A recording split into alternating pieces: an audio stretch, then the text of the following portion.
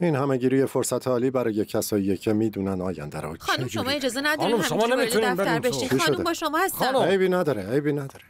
کامیلا هنوز زنده است.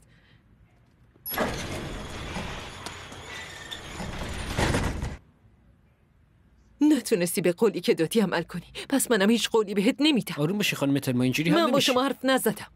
آلوارو خودت خیلی خوب می‌دونی ما با هم یه قول و قرارایی گذاشته بودیم. من می‌خواستم کامیلا زنده نمونه. نه اینکه بخواد روی ویلچیر بشینه. حالا که مثل یه قهرمان زنده مونده چیکار می‌خوای بکنی؟ یه زن سیاه بوست معلمی که روی ویلچیر میشینه. ملکه ای که تونسته جون سالم به در ببره. نه تنها مشکل منو حل نکردی بلکه بدترش کردی.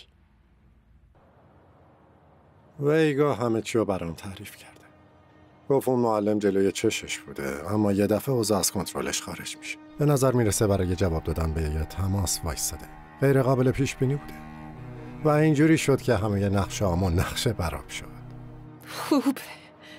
الان برای این موقعیت چه پیشنهادی داری؟ خدای من.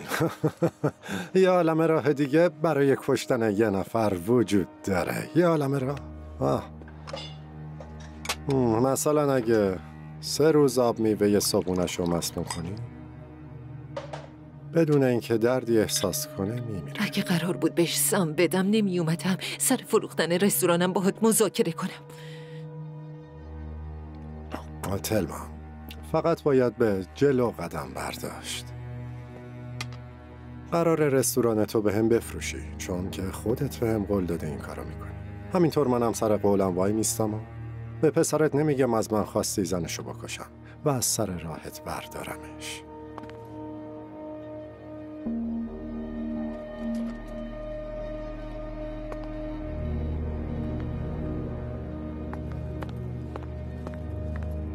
شاید ندونی اما فردا روز مهمی برای منه.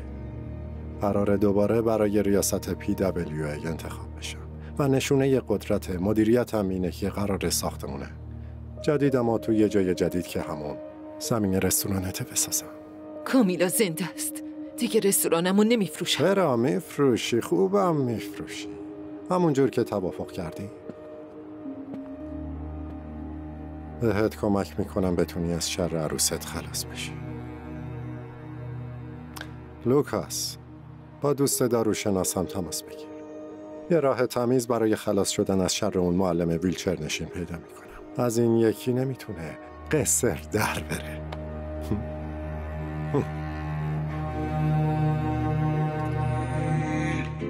A gente quer valer o nosso amor.